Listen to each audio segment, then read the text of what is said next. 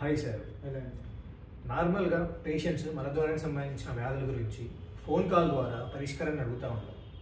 మనం ఎంతవరకు ఆ పరిష్కారాన్ని చూపగలుగుతాం? మంచి క్వశ్చన్ అడిగారు.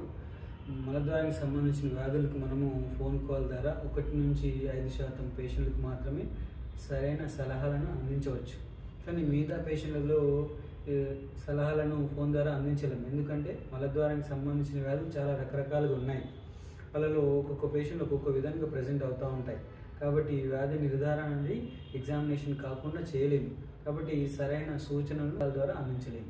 సరైన ఎగ్జామినేషన్ అన్నారు కదా సరైన ఎగ్జామినేషన్ అంటే ఏంటి? ఆయుర్వేదం ప్రకారం కంప్లీట్ ఎగ్జామినేషన్ అనేది దర్శన స్పర్శన ప్రశ్న అని మూడు విధాలుగా జరిగితే అది కంప్లీట్ ఎగ్జామినేషన్ అవుతుంది. దర్శనంలో ఆ ఏరియాని చూడడం. స్పర్శన అంటే టచ్ చేసి చూడడం. ప్రశ్న అంటే వ్యాధికి సంబంధించిన ప్రశ్నలను అడగడం. మరి ఫోన్ కాల్ అనేది ఒక ప్రశ్న మాత్రమే అవుతుంది కాబట్టి ఇది ఇన్కంప్లీట్గా ఎగ్జామినేషన్ అవుతుంది. కాబట్టి వ్యాధి నిర్ధారణ కాదు సరైన సూచనలను మనకు అందించలేము. ఈ మలద్వారానికి సంబంధించిన సమస్యల్లో సరైన ఎగ్జామినేషన్ ఏమవుతుంది? ఇంతకుముందు చెప్పినట్టు దర్శన అంటే పేషెంట్ను ఒక ప్రాపర్ పొజిషన్లో మరి మలద్వారానికి సంబంధించిన వ్యాధులు అయితే లిథాటమీ పొజిషన్లో పడుకోబెట్టి ఆ ఏరియాను కంప్లీట్గా చూడడం.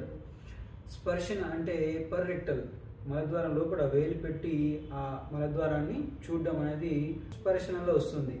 ప్రశ్న అంటే వ్యాధికి సంబంధించిన ప్రశ్నలను అడగడం. ఎన్ని రోజుల నుంచి ఉంది? ఎలాంటి ఇబ్బందులు ఉన్నాయి? అనేది దీంట్లో వస్తూ ఉంటుంది. ఈ మూడు విధాలు జరిగితే ఇది కంప్లీట్ ఎగ్జామినేషన్ అవుతుంది. ఇప్పుడు మలద్వారానికి సంబంధించి ప్రతిదీ మన కంటికి కనబడదు. దాన్ని ఏ విధంగా అధిగమిస్తాం. మంచి క్వశ్చన్ అడిగారు.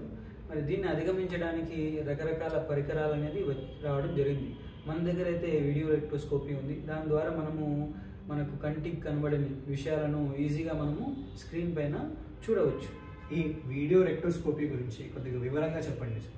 వీడియో రెక్టోస్కోపీ అనేది ఒక ఎండోస్కోప్ లాంటిది. దీని ద్వారా మనము మలద్వారం నుండి ఆరు సెంటీమీటర్ లోపల వరకు మనకు ఈజీగా చూడవచ్చు.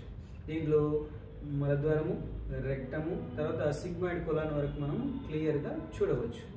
మనకు పర్ రెక్టల్ ఎగ్జామినేషన్ ఏదైతే వేలుతో చూస్తామో దాంట్లో కనబడే విషయాలు కానీ అర్థం కాని విషయాలను కానీ మనము ఈజీగా స్క్రీన్ పైన చూడవచ్చు. దాంతోపాటు పేషెంట్ని మనము తన వ్యాధి గురించి కంప్లీట్గా అవగాహన కలిగించడానికి ఇది మనకు చాలా దోహదపడుతుంది. తర్వాత కొన్ని రకాలైన వ్యాధులు మనకు పర్రెక్టల్ ఎగ్జామినేషన్లో కనబడని పాలిప్స్ కానీ యానల్ పాలిప్ కానీ రెక్టల్ పాలిప్ కానీ కొన్ని రకాలైన పుండ్లు అల్సర్స్ కానీ తర్వాత ఫిష్లా అయినాను ఫిస్ట్లాలో ఇంటర్నల్ ఓపెనింగ్ కానీ తర్వాత పైల్స్ కానీ ఫిషర్ కానీ ఇవన్నింటినీ మనము డైరెక్ట్గా స్క్రీన్ పైన చూడవచ్చు. దీనివల్ల వ్యాధి నిర్ధారణ అనేది కంప్లీట్గా అవుతుంది. కాబట్టి మనము దీన్ని పేషెంట్లకు మంచి ట్రీట్మెంట్ని అందించవచ్చు. Thank you sir for sharing valuable information thank you